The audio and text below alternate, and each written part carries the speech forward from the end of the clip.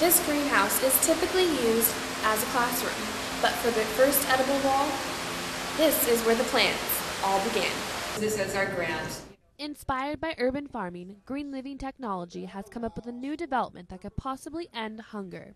Working with Cal Poly, four vertical edible walls will be installed in downtown Los Angeles.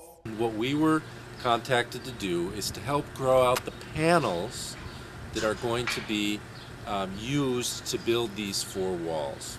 Fully funded by grants, these four walls were planted to grow fresh organic vegetables and herbs like tomatoes, basil, and onions.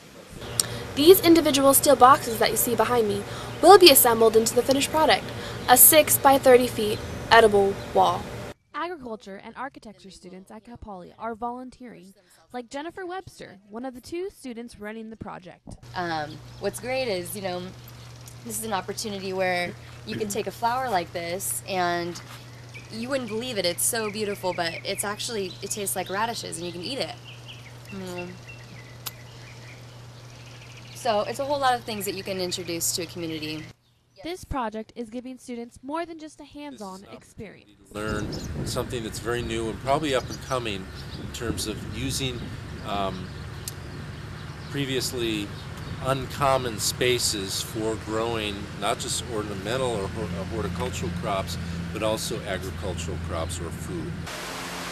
After only a few weeks, these plants are growing strong. Come August, they're going to help feed a lot of hungry people.